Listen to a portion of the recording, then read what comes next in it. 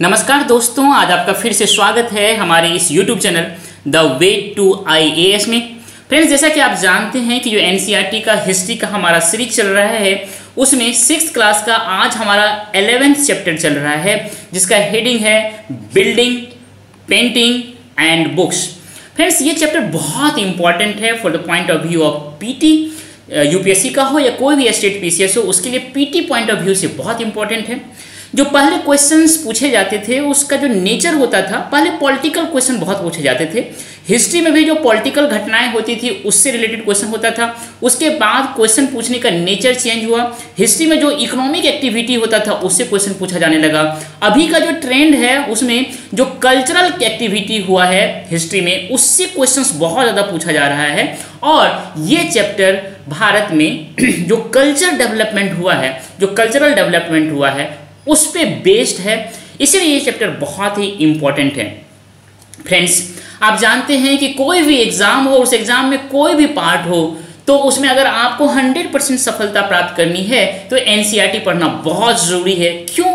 क्योंकि N e पढ़ने के बाद ही आपको जो बेसिक फंडामेंटल कंसेप्चुअल क्लियरिटी होता है, यह होता है। जो फंडा जो फंडामेंटल चीज़ है जैसे कोई बिल्डिंग है, उसका जो फाउंडेशन जितना स्ट्रांग होता है, उतना ही लंबा बिल्डिंग बनता है, उतना ही स्ट्रांग बिल्डिंग बनता है।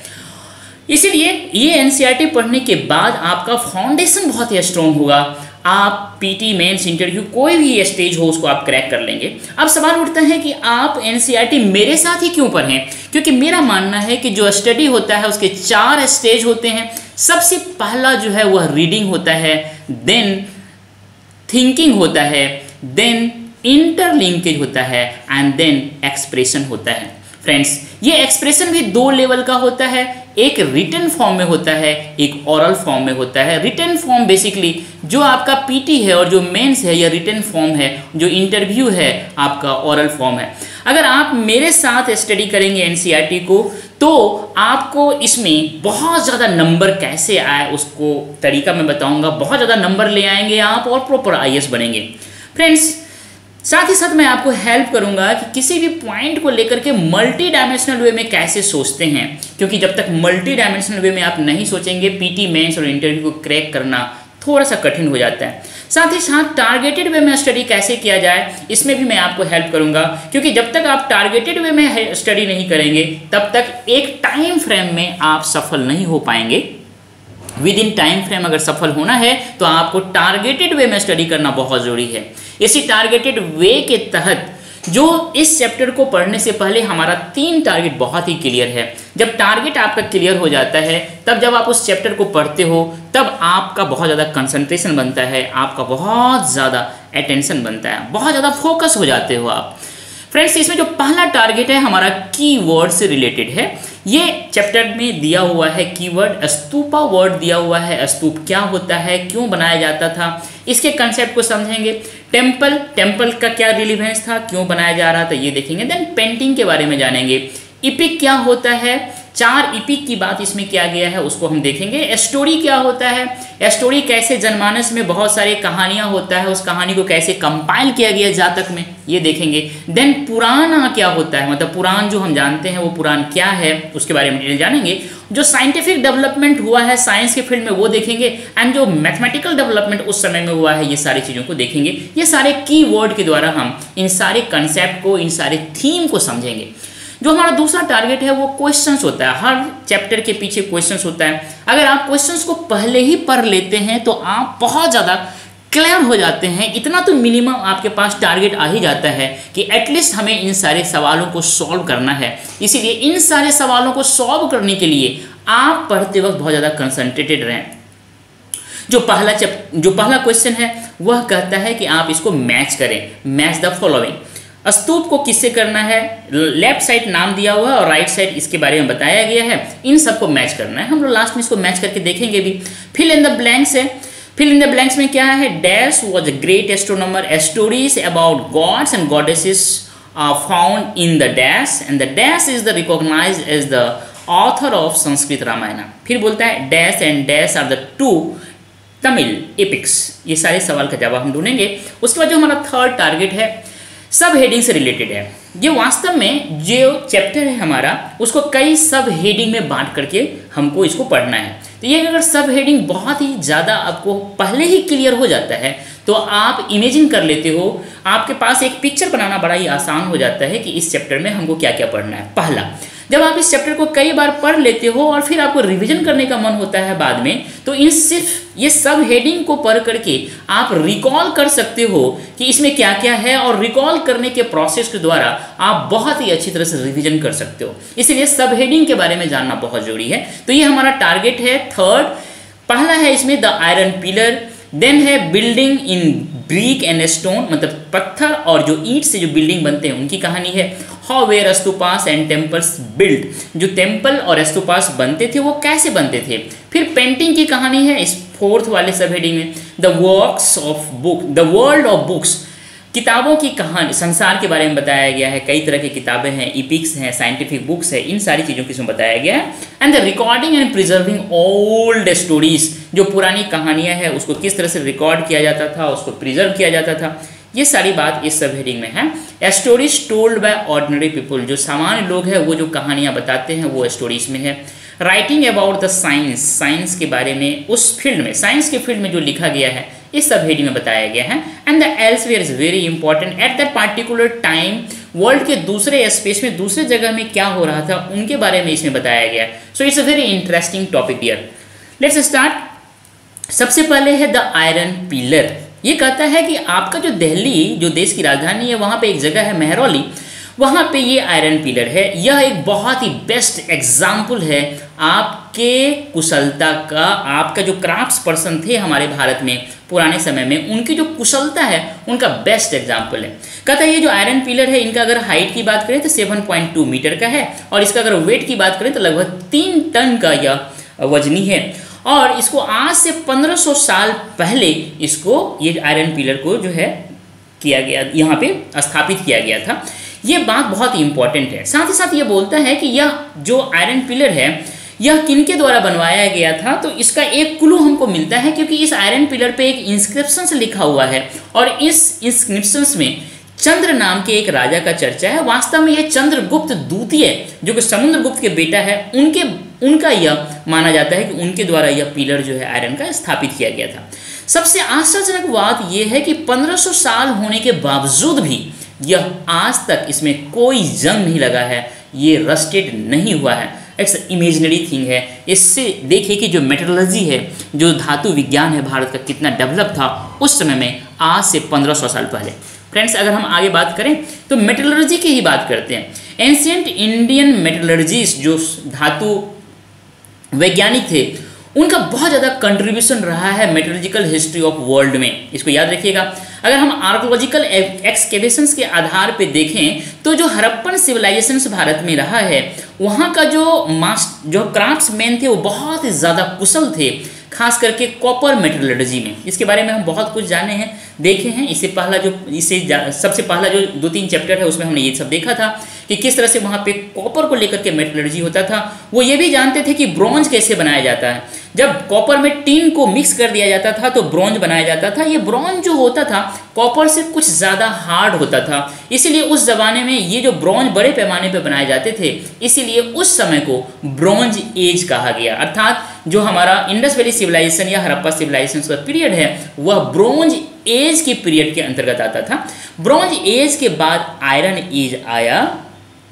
और इंडिया ने बहुत ही हाई क्वालिटी के आयरन जो है उसको प्रोड्यूस किया। जैसे फोर्स आयरन हुआ रॉट आयरन हो गया कास्ट आयरन जिसको हिंदी में खोटा लोहा बोलते हैं, पिटवा लोहा बोलते हैं या ढलवा लोहा बोलते हैं।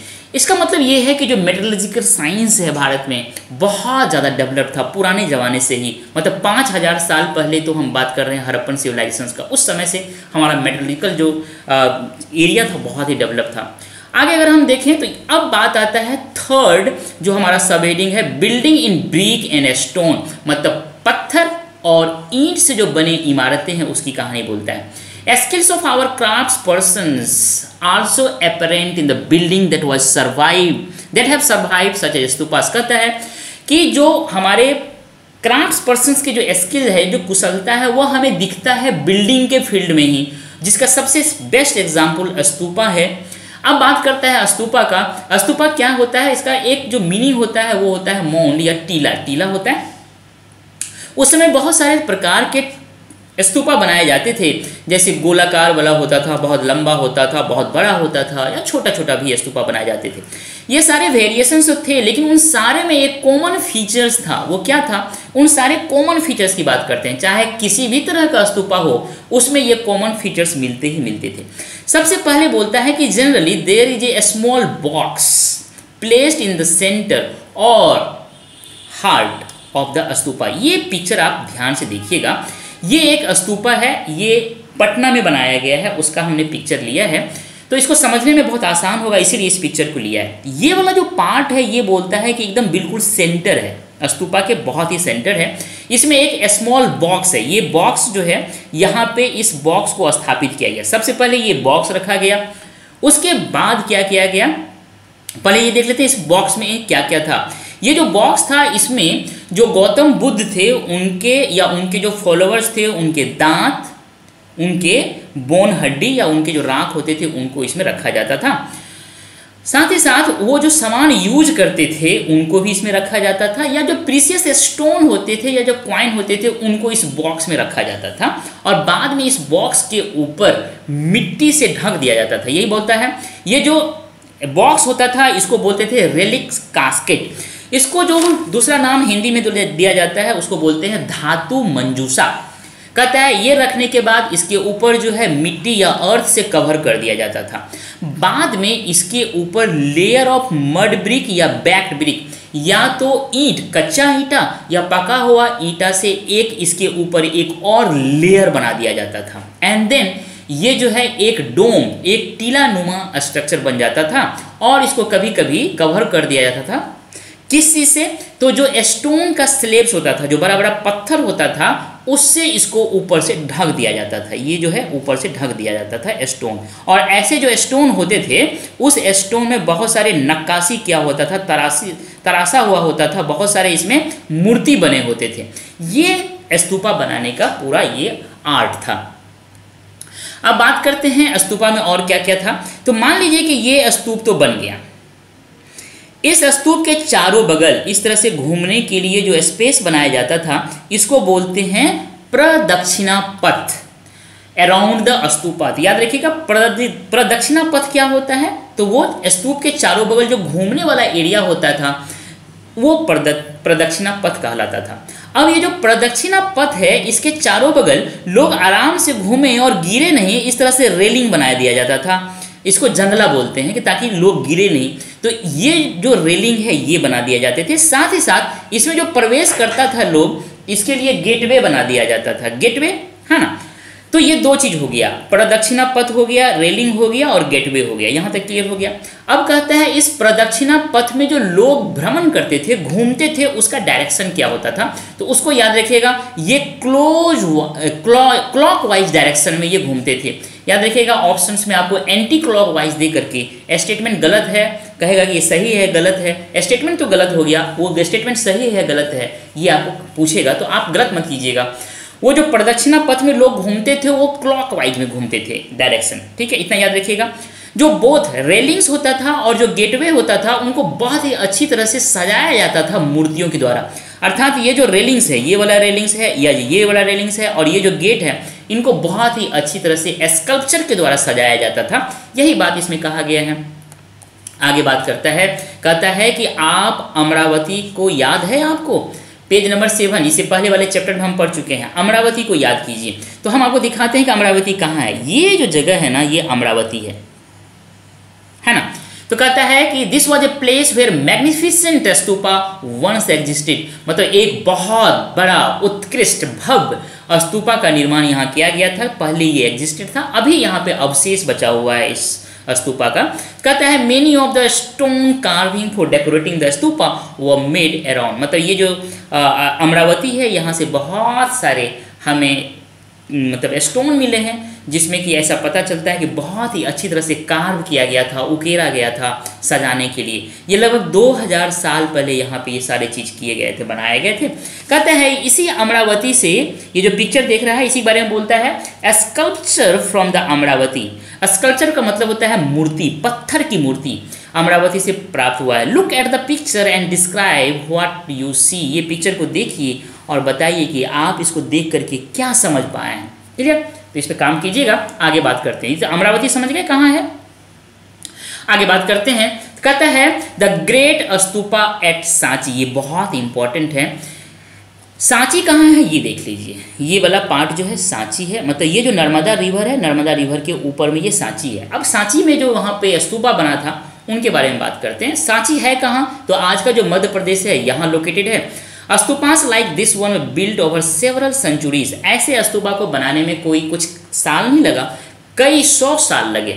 कहता है कि इसमें जो पहला प्रयास हुआ बनाने का तो उसमें जो ब्रिक बनाया गया वाइल द ब्रिक माउंड ये जो ब्रिक का टीला था मतलब ईटा का जो टीला था, ये जब बना था तो ये वास्तव में अशोक के समय बना था।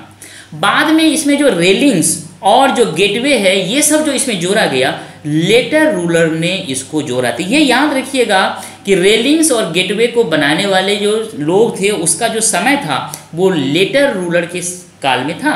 और ये जो स्तूप बना था, और इस स्तूप के ऊपर जो ब्रिक माउंड मतलब जो ईंट को बैठा करके जो ये टीला बनाया गया था इस स्तूप का, ये अशोका, द ग्रेट, जो चंद्रगुप्त मौर्य के बेटा थे पोता थे, उसके समय में यह बना था। याद रखिएगा इसको। आगे अगर हम बात करें तो याद रखिएगा ये क्या है? ये गेट है। ये पूरा, इसको देखिएगा, बहुत बड़ा गेट है ये। और ये जो है, ये रेलिंग्स है। मतलब रेलिंग्स मतलब जंगला, चारों ओर से घिरने वाला, लोग गिरे नहीं। और ये स्तूपा का जो मेन स्ट्रक्चर है, वो वाला पार्ट है। ठीक है, आगे बढ़ते हैं।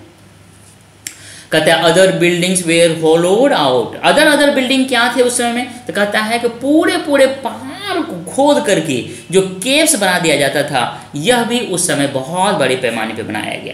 Some of these were elaborated decorated इस तरह के जो केव्स थे, जो गुफा थे, उसको बहुत ही अच्छी तरह से डेकोरेट किया गया स्कल्पचर मतलब मूर्ति के द्वारा और पेंट के द्वारा। ये बात आगे हम पेंट से कैसे डेकोरेट किया गया वो हम देखेंगे। कहता है, इसी समय बहुत सारे हिंदू टेंपल बने जो कि अर्लीस्ट टेंपल था। मतलब बहुत सारे अर्लीस्ट टेंपल जो बने हैं, इसी समय बने हैं। कहता है, जो देवी देवता थे, जैसे विष्णु हो गए, शिव हो गए, दुर्गा हो गए, उनका जो वर्शिप किया जाता था, इस यहाँ पे ही किया जाता था। इसी के लिए मंदिर बनाया गया था। इसी मंदिर में इनका पूजा पाठ करने के लिए ये सारे चीज़ बनाया गया कहता है, ये जो मंदिर बनाया जाता था, इसमें जो मोस्ट इंपॉर्टेंट पार्ट होता था इस टेंपल में, वो गर्भगृह होता था। याद रखिए गर्भगृह क्या होता है, ये पूछा जा सकता है।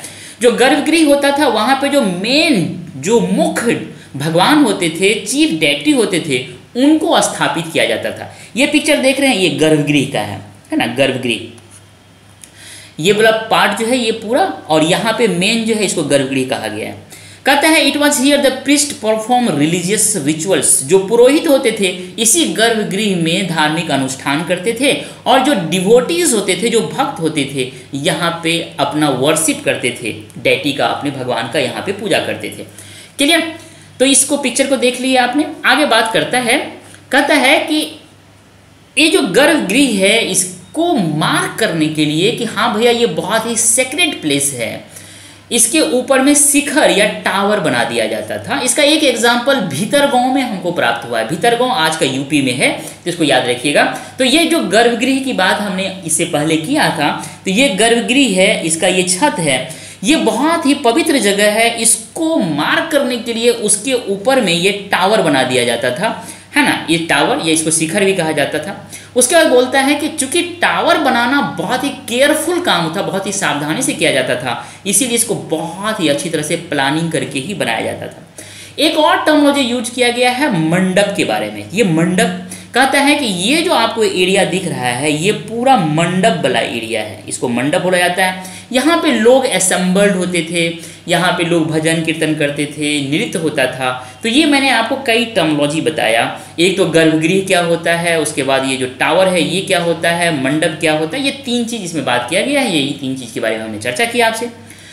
ये पिक्चर दिया हुआ है भीतर गाँव में जो मंदिर मिला है, उसके बारे में। ये उत्तर प्रदेश में है, यहाँ पे आज से 1500 साल पहले मंदिर बनाया गया और ये पके हुए ईंट का मंदिर बना हुआ है। मेड और स्टोन, पत्थर और पके हुए ईंट का यहाँ पे मंदिर बना हुआ है। ये बात ध्यान रखिएगा, ये पिक्चर चूँकि यहाँ दिया हुआ है तो ये क्वेश्चन पूछा जा सकता है। आगे अगर हम बात करें, कहते हैं कि देखिए, आप पिक्चर देखिए और इस मैप देखिए और मैप में महाबलीपुरम और एहोल जो है उसको देखिए। तो याद रखिएगा, ये जो पार्ट है, ये महाबलीपुरम है। ये जो साइट है, ये महाबलीपुरम है। आपको मैंने इससे पहले वाले चैप्टर में जस्ट पीछे वाले चैप्टर में हम पल्लवा और चालुक्य की बात किया था। तो ये जो पल्लव है, उसका एक इंपॉर्टेंट पोर्ट था महाबलीपुरम और इसका जो राजधानी था, वो क्या था? तो कांचीपुरम था। तो ये दो चीज़ याद रखिएगा। जब हम एहोल की बात करते हैं तो ये जो चालुक्य थे, इनकी राजधानी यही एहोल था। तो ये तीन साइड मैंने आपको बताया। यहाँ पे कहता है सिर्फ़ महाबलीपुरम और एहोल के बारे में इसको देखिए मैप में। कहता है यहाँ पे some of the finest stone temples जो है बिल्ड किया गया। और अब बात करता है महाबलीपुरम के बारे में, कि महाबलीपुरम में मोनोलिथ टेंपल बनाया गया। मोनोलिथ का क्या मतलब होता है?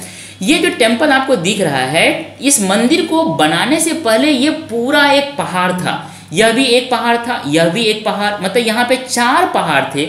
इस चार पहाड़ को काट करके मंदिर बनाया गया। मतलब ये जो आज मंदिर दिख रहा है यह मंदिर पूरे के पूरे एक पहाड़ को, एक पहाड़ को काट करके, तराश करके बनाया गया है। मतलब इसमें अलग अलग जगह से ला करके पत्थर को एक मतलब सजा करके, पत्थर को संजो करके, पत्थर को अरेंज करके नहीं बनाया गया। पूरे एक पहाड़ को काट करके ये मंदिर बनाया गया है। इसी को बोलते हैं एकास्मिक मंदिर या मोनोलिथिक टेंपल बोलते हैं।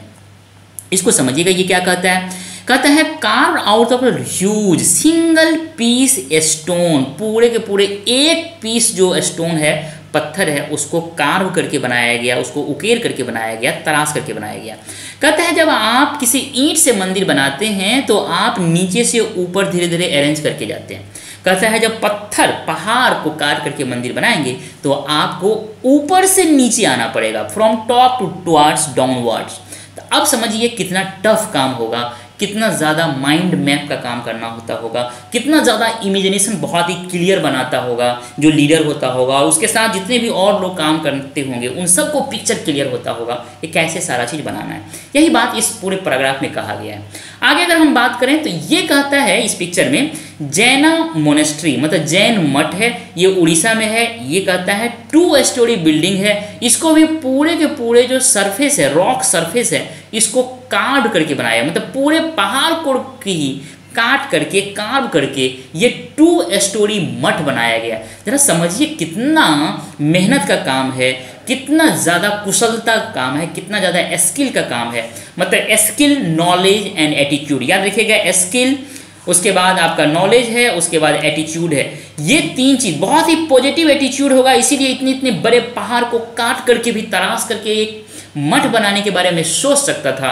नॉलेज होगा कि कैसे बनाना है और स्किल होगा कि कैसे बहुत अच्छी तरह से बनाया जा सकता है। इन तीनों का कॉम्बिनेशन होगा, तभी इतना बड़ा बड़ा अद्भुत और अकल्पनीय काम मानव मतलब भारतीय जो स्कल्पचर बना, जो क्राफ्ट पर्सन है, उनके द्वारा ये सारे चीज़ किए गए होंगे। यही बात इसमें कहा गया है। आगे बात करते हैं। तो एक और पिक्चर दिया हुआ है, दुर्गा टेंपल अभी हमने बात किया था एहोल का। ये एहोल किसका राजधानी है? तो चालुक्य का है। यहाँ पे दुर्गा टेंपल आज से 1400 साल पहले बनाया गया है। कई बार ऑप्शन से पूछा जा सकता है, निम्न में से किस जगह पे दुर्गा टेंपल प्राप्त हुआ है? तो उसका जो आंसर होगा, वो एहोल होगा। इसको ध्यान से याद रखिएगा। क्लियर आगे अगर हम बात करें कहता है हाउ वो स्तूपास एंड टेम्पल्स बिल्ट ये सब हेडिंग है। कहता है, कई स्टेज में बनाया जाता था भैया। कहता है, सबसे पहले जो राजा होते थे, जो रानी होते थे, वो डिसाइड करते थे कि बनाना है। क्योंकि ये तो बहुत ही एक्सपेंसिव काम था, बहुत ही खर्चीला काम था तो राजा और रानी के ही बस की बात था। सबसे पहला जो स्टेज होता था, जो गुड क्वालिटी के स्टोन होते थे, पत्थर होते थे, उसको फाइंड फाउंड किया जाता था, खोजा जाता था। फिर उसको उखा उखाड़ा जाता था क्वेरीड किया जाता था, फिर उसको ट्रांसपोर्ट करके लाया जाता था ऐसे जगह पे जहाँ की अच्छी तरह से मतलब चूज़ करके उस जगह पे जहाँ की मंदिर बनाना हो, उस जगह पे लाया जाता था। कहता है here these rough blocks of stone जो वहाँ पे लाया गया है रॉक मतलब रफ जो ब्लॉक्स है स्टोन का, उसको बहुत ही अच्छी तरह से सेप्ट किया जाता था उसको कार्ड किया जाता था और फिर उसको पिलर्स बनाया जाता था पैनल्स ऑफ़ वॉल्स बनाए जाते थे फ्लोर नीचे का स्तर फ्लोर बनाया जाता था और छत बनाया जाता था। ये सारे चीज़ जो है काम करके बनाया जाता था और उसको फिर अच्छी तरह से प्रिसाइसली बहुत ही बारीकी से उस सबको अरेंज करके के राइट पोजीशन में फिर एक मंदिर का सेप दिया जाता था। यही बात यहाँ पे कहा गया है। क्लियर आगे अगर हम देखें, कहता है कि ये जो किंग एंड क्वींस थे, वास्तव में बहुत सारे पैसा यहाँ खर्चा करते थे, है ना? क्राफ्ट्स पर्सन जो थे, उनको पैसा देते थे। अपना जो ट्रेजरी था, अपना जो खजाना था, उससे पैसा दे करके इतने बड़े बड़े भव्य स्ट्रक्चर बनाते थे। साथ ही साथ, जब ये स्ट्रक्चर बन जाते थे, अभी बना है स्ट्रक्चर खड़ा हुआ है, बहुत ज़्यादा डेकोरेटेड का काम नहीं हुआ है डेकोरेशन का काम नहीं हुआ। है अब कैसे हुआ डेकोरेशन का काम?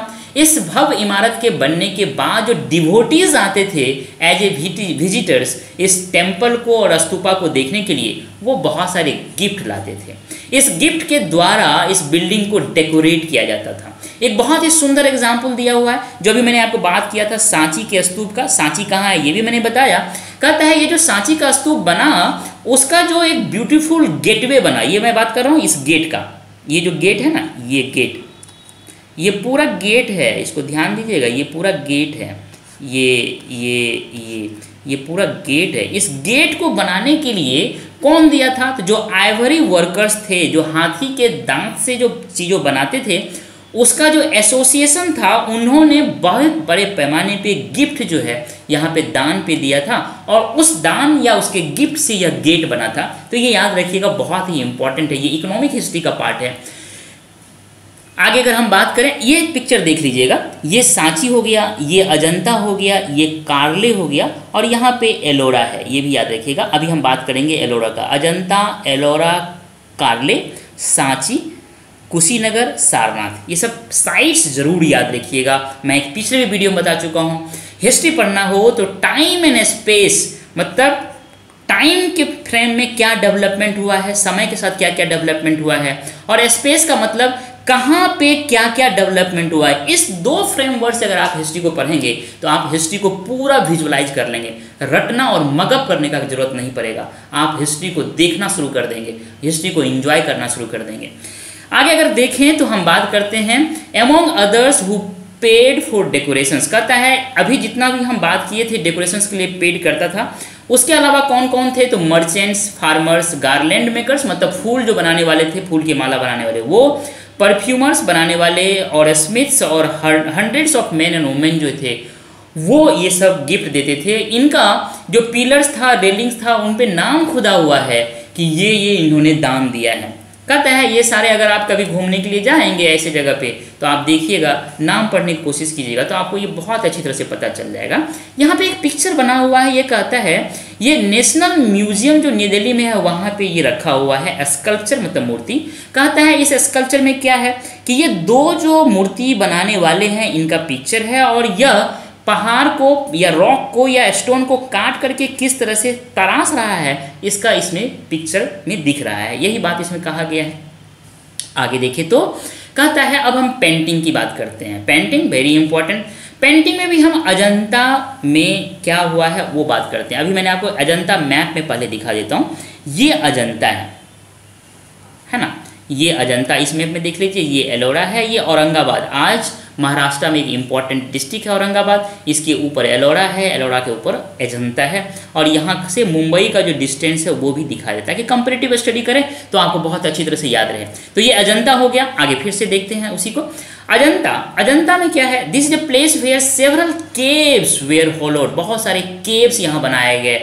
मतलब पहाड़ को खोद करके गुफाएँ बनाए गए और ये कई सेंचुरीज तक मतलब कई शताब्दियों तक यह काम चलता रहा। कहता है यहाँ पे जो कुछ भी बना, उसमें जो मोस्ट इंपॉर्टेंट चीज़, ज़्यादा से ज़्यादा बहुत इंपॉर्टेंट और ज़्यादा चीज़ जो जुड़ा हुआ है, वो एसोसिएटेड है बुद्धिस्ट मॉन्ग से। याद रखिएगा। मतलब ये जो अजंता है, यह मेनली बुद्धिस्ट मॉन्क्स या बुद्ध धर्म से जुड़ा हुआ है। यहीं पर मैं ये भी बता देना चाहता हूँ कि अजंता तो बुद्ध धर्म से जुड़ा हुआ है, लेकिन ये जो एलोरा है, यहाँ पे बुद्ध, जैन और हिंदू, इन तीनों धर्म के अवशेष मिले हुए हैं। इसको याद रखिएगा। तो कहता है कि यहाँ पे बुद्ध, यहाँ पे जो ये जो केव्स बनाया गया है, इसको डेकोरेट जो किया गया है, वो पेंटिंग के द्वारा किया गया है। कहता है कि देखिए, ये केव्स तो बिल्कुल ही डार्क था, इसके अंदर तो अंधेरा ही अंधेरा था। फिर पेंटिंग करना हो तो कैसे करना होगा? तो कहता है, आग जला करके उससे रोशनी प्राप्त किया गया मतलब टॉर्च जला करके लाइट प्राप्त किया गया और फिर इस पेंटिंग को बनाया गया।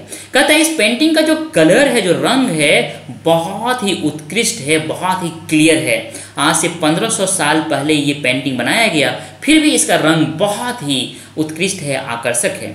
कहता है, ये जो रंग है यह जो रंग बना है, वह प्लांट्स और मिनरल से बना है न कि केमिकल से बना है, ये याद रखिएगा। लेकिन दुर्भाग्य की बात यह है कि ये जो पेंटिंग बनाने वाले हैं, ये कौन है? ये अभी तक अननोन है। इसके बारे में पता नहीं चल पाया है या पता चल पाए इसकी संभावना कम है क्यों क्योंकि बनाने वाले का नाम ही नहीं लिखा हुआ है।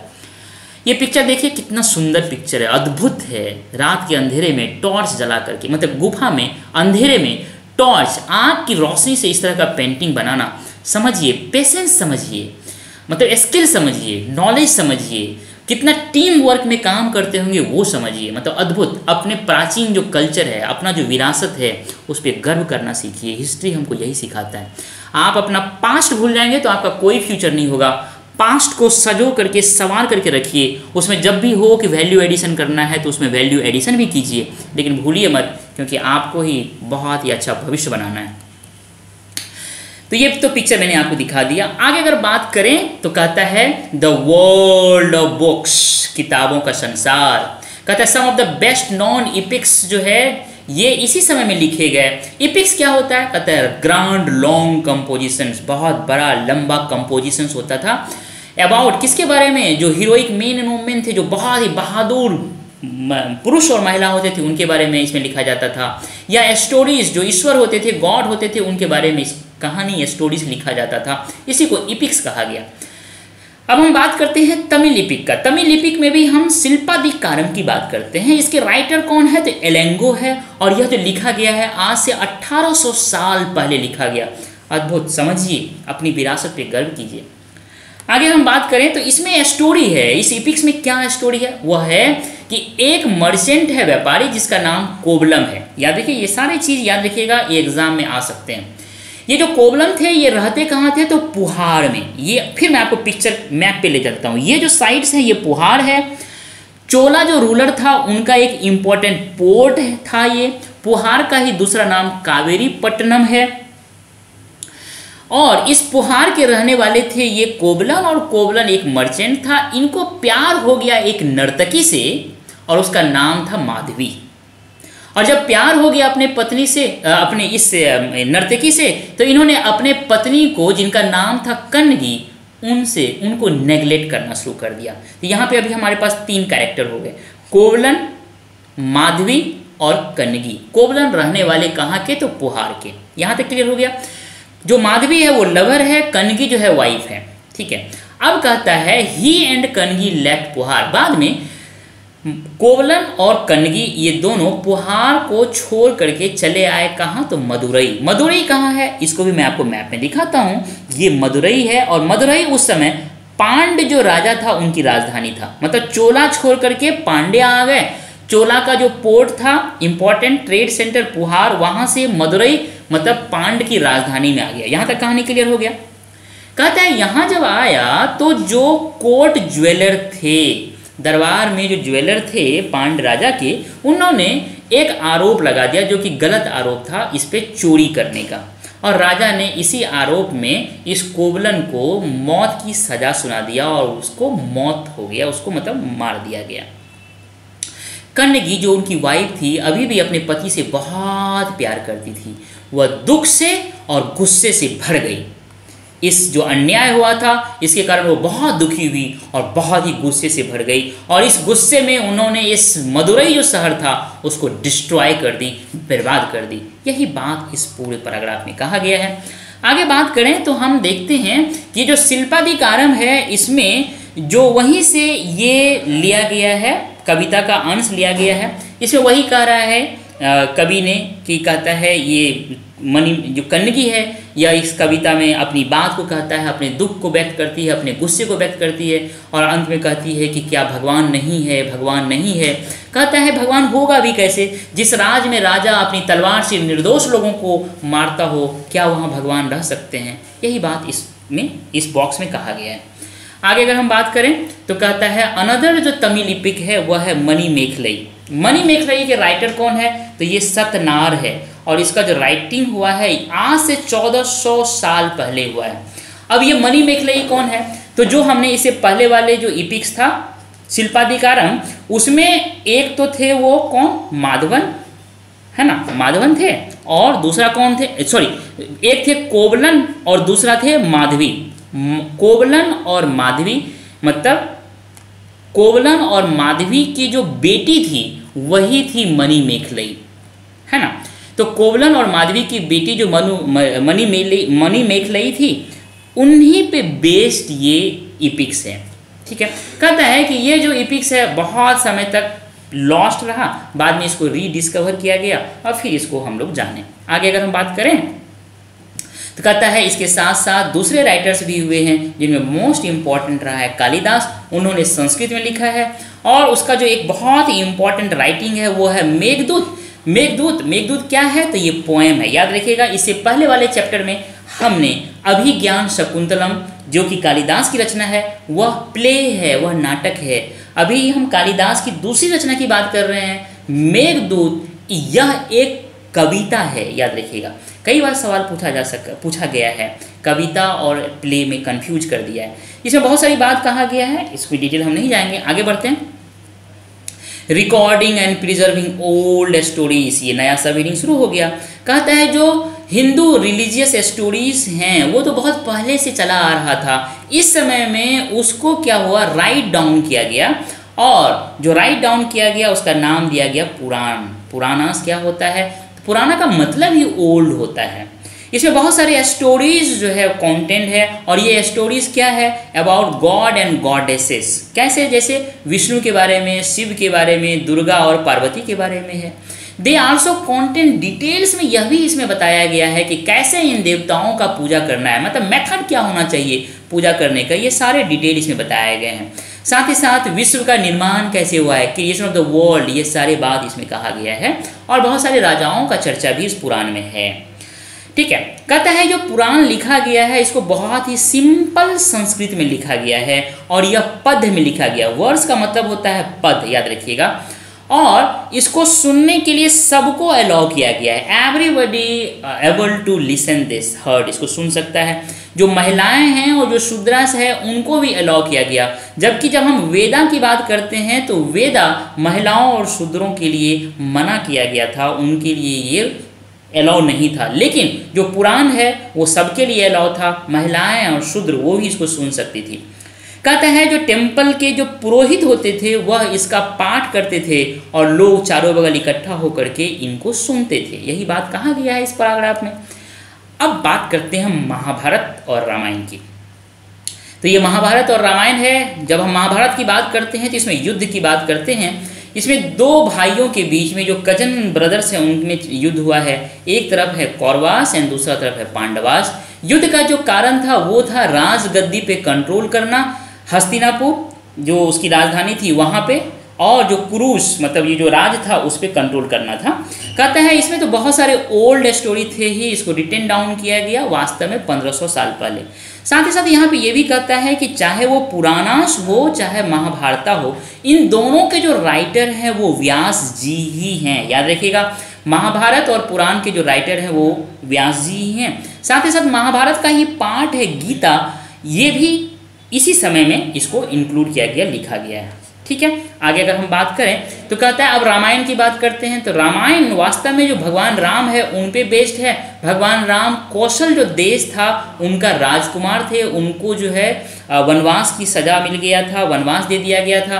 वो अपनी पत्नी के साथ वन में भटक रहे थे, और जो श्रीलंका के राजा थे, रावण, उन्होंने उनकी पत्नी को अपहरण कर लिया। फिर उन्होंने युद्ध लड़ा और अपनी पत्नी को वापस लेके आ गया, और फिर अयोध्या लौट के आ गए। अयोध्या क्या है? तो कहता है, जो कौशल देश था, उनकी राजधानी थी। कहता है, जो महाभारत है, उसी तरह से इसमें भी, रामायण में भी बहुत सारे पुराने स्टोरीज को इस महाभारत में संकलित किया गया। और रामायण की जब बात करें तो रामायण जो संस्कृत में लिखा हुआ है, इसके जो राइटर हैं, वाल्मीकि जी हैं। याद रखिएगा, अभी जो चर्चा चल रहा है रामायण की, वो अवधि में लिखा हुआ है, और उसके राइटर तुलसीदास जी है। मतलब अवधि में लिखा हुआ है रामायण और इसके राइटर जो हैं, ये तुलसीदास हैं। ये संस्कृत में लिखा हुआ है रामायण और इसके राइटर जो है वाल्मीकि जी है। इतना याद रखिएगा। आगे अगर हम बात करें, कहते हैं stories told by ordinary people जो सामान्य लोग हैं, वह भी स्टोरीज कहते थे, वो भी स्टोरी सॉन्ग पोएम्स को कंपोज करते थे, वो भी डांस करते थे, वो भी गाना गाते थे, वो भी प्ले को परफॉर्म करते थे। ऐसे जो सामान्य लोगों के द्वारा किया जाता था, उनको प्रिजर्व किया गया, उनको सबको कलेक्ट किया गया उस स्टोरीज को, और वह था जातकाश के रूप में और पंचतंत्र के रूप में। पंचतंत्र के राइटर कौन है? विष्णु शर्मा। ठीक है?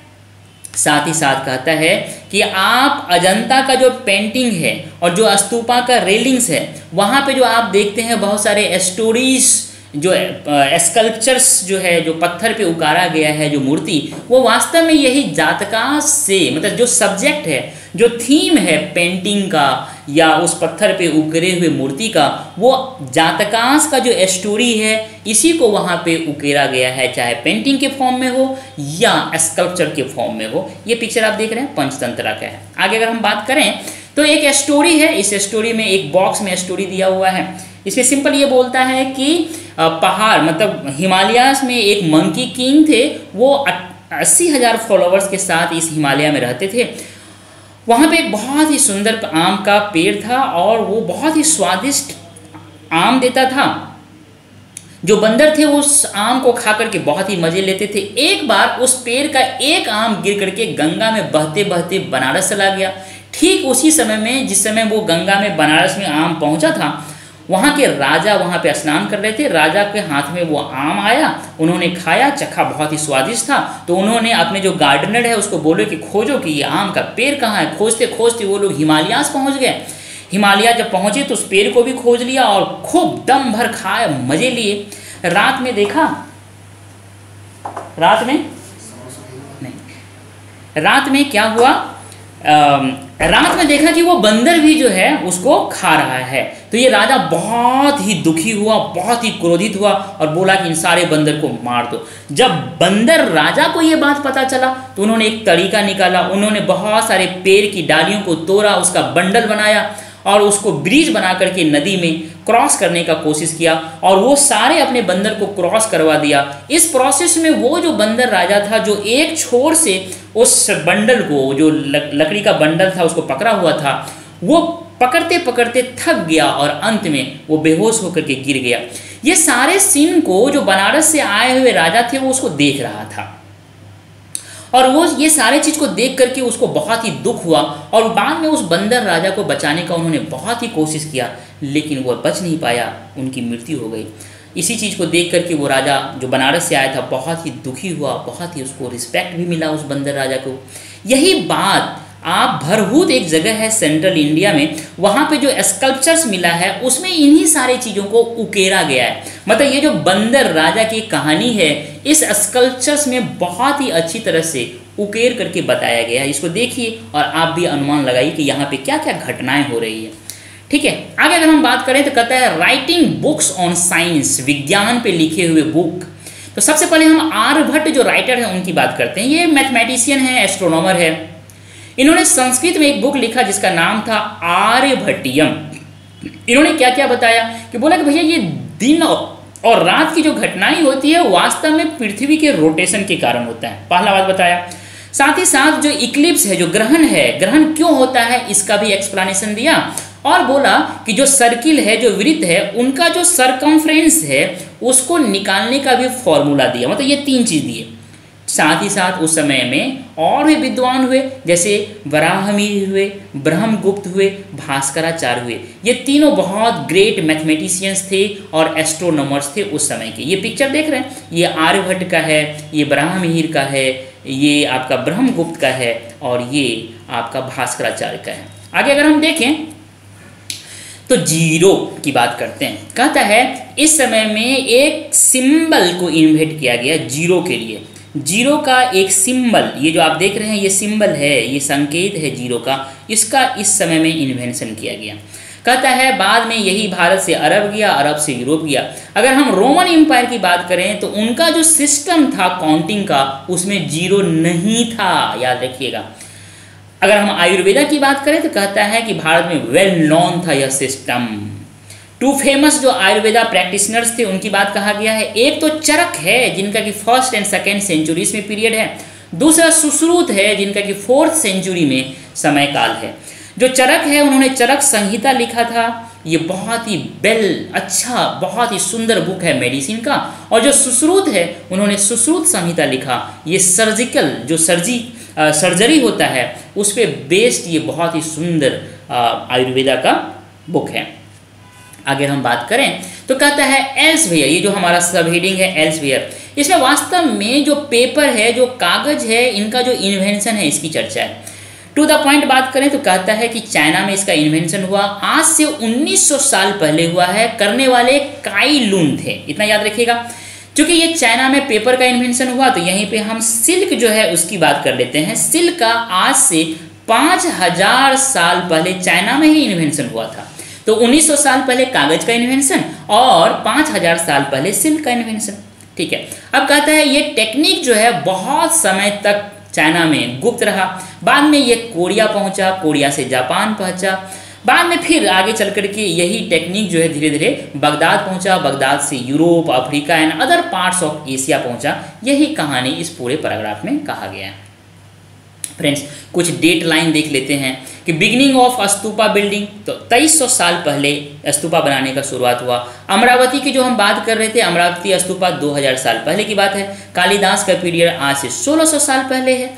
जो आयरन पिलर की बात किया, जो टेंपल जो भीतर गाँव है, उसकी बात किया। पेंटिंग जो अजंता में है, उसकी बात किया। और जो आर्यभट्ट है, इन सब का जो टाइम पीरियड है, आज से 1500 साल पहले है। और जो दुर्गा टेंपल एहोल में था, उसकी बात किया तो उनका जो टाइम पीरियड है आज से 1400 साल पहले।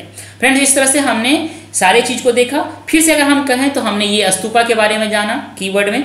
फिर हम टेंपल के बारे में जाना पेंटिंग इपिक स्टोरी पुराना। और फिर साइंस में जो हम देखा ज़ीरो के बारे में, और फिर जो आयुर्वेदा के बारे में देखा। फिर मैथमेटिक्स में जो डेवलपमेंट हुआ, वो सारा देखा। फ्रेंड्स अगर सवाल देखिए तो अस्तूपा क्या है? तो अस्तूपा वास्तव में क्या है? एक माउंट है, टीला है, शिखर क्या है? ये कहता है, शिखर क्या है? Place in the temples where नहीं, ये शिखर क्या है? तो ये टावर है। और जो मंडपा है, ये असम्बल जो लोग होते थे, मंदिर में वो है। गर्भगृह क्या है? ये डाइटी है मतलब जो बहुत ही place where imagine of the deity installed है। और प्रदक्षिणा पाथ क्या होता है? सर्कुलर पाथ होता है। कहते हैं dash was the great astronomer Aryabhatta की बात करता है। Stories about gods and goddess are found in Purana में बात करता है। तो आंसर इसका पुराण होगा। Dash is recognise as the author of the Sanskrit Ramayana कौन? महर्षि वाल्मीकि जी हैं। और डैश एंड डैश ये होगा शिल्पाधिकारम और Manimekalai are the two Tamil epics ये क्वेश्चन हो गया, बहुत ही आसान है। इस तरह से हमने आयरन पिलर की बात किया building in bricks and stone की बात किया। How stupas and temples built ये भी देख लिया पेंटिंग अजंता के बारे में देखा वर्ल्ड ऑफ़ बुक्स चार चार इपिक्स के बारे में देखा साइंस के क्षेत्र में जो डेवलपमेंट है वो देखा। Recording and preserving old stories जो जातकास कहानी और पंचतंत्र की बात किया। Stories told by ordinary people मतलब जातका का इसमें भी चर्चा है। और writing about the book the science के फ़ील्ड में जो बुक लिखा गया, वो देखा। एल्सवेयर में जो पेपर का आविष्कार इन्वेंशन हुआ है, वो देखा। फ्रेंड्स इस तरह से हमने इस चैप्टर को बहुत ही अच्छी तरह से देखा। सारी चीज़। चैप्टर का नाम ही है building painting and books very important